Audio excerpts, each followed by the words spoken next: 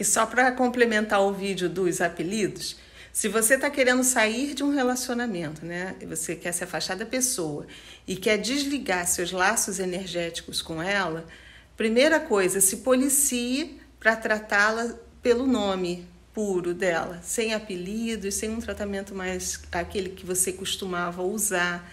Essa é a primeira é, é a primeira forma de você começar a ir se desligando energeticamente dessa pessoa. Eu vim saber disso agora, há pouco tempo, viu? Dessa questão de você cria, quando você cria um, uma, um, um nomezinho né, afetivo para você tratar aquela pessoa que, que tem um relacionamento com você, aquela palavrinha ela desencadeia em você um, uma total sintonia e atração magnética por aquela pessoa, né? Que você imprimiu ali aquela carga é, afetiva na, na, naquela palavra. Então tem